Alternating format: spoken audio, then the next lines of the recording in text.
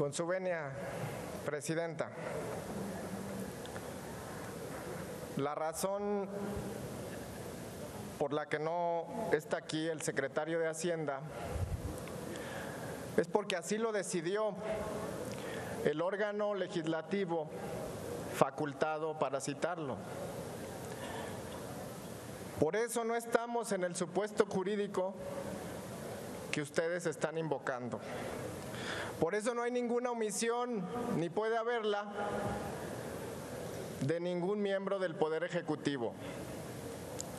Queremos hacerles un llamado para que dejen de mentir, para que dejen ya de mentir de una vez por todas, porque así nunca más, nunca más van a recuperar la credibilidad, porque no le ayudan, no le ayudan a este espíritu republicano.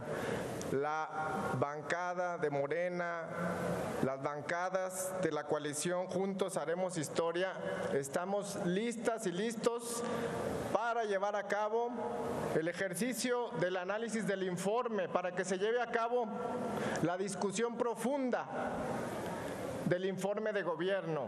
Eso no está discusión.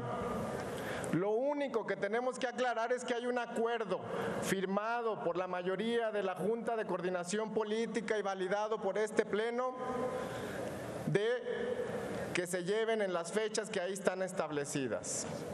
Eso es lo real y esa es la verdad.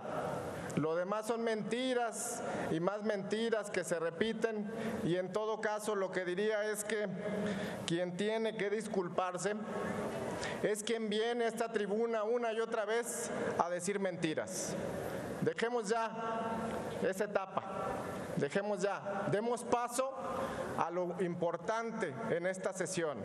Ya dejemos atrás las tácticas dilatorias y dejemos atrás las mentiras. Es cuanto, Presidenta.